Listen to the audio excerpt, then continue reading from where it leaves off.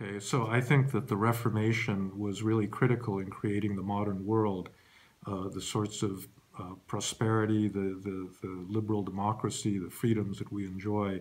And you can't understand uh, the present without understanding how uh, the past shaped uh, those institutions. Fordi reformationen, uden at man skal trække snorene for direkte, har haft kæmpe stor betydning for den måde, vores samfund er indrettet på i dag, og den måde, vi tænker, ikke mindst her i de skandinaviske lande. Så derfor er det vigtigt at være til stede en dag som i dag.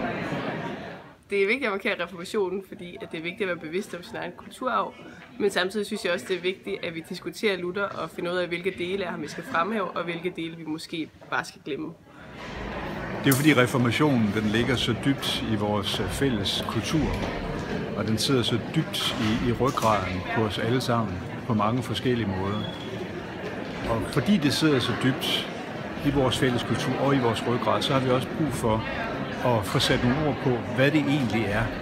Fordi at, øh, det er jo altid en god og nødvendig ting, at man er klar over, hvad det er for en, en grund, man står på. Det er vigtigt, at vi markerer reformationsjubilæet, fordi at reformationen er en stor øh, samfundsbegivenhed i øh, Danmarks historien, og det er en god anledning, mener jeg, til at diskutere, hvad religionen har betydet for vores samfundsudvikling og for, at vores samfund og velfærdsstat og demokrati ser ud, som det gør i dag.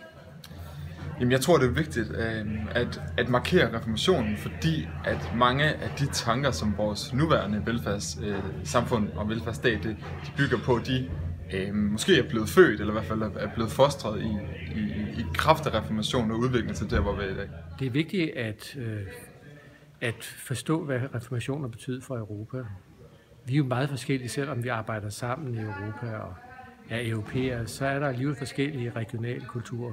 Og hvis man kigger nærmere på det, hvorfor der for eksempel er forskellige velfærdssystemer rundt omkring i Europa, hvorfor vi faktisk har det forskellige værdier og forskellige syn på mange ting, så vil man se, at det har et eller andet at gøre med det store skisme, der skete der tilbage i 1500-tallet. Reformationen er sådan en, et vendepunkt, som også gjorde europæerne meget forskellige, efter de havde i århundreder været sammen inden for den katolske kirke.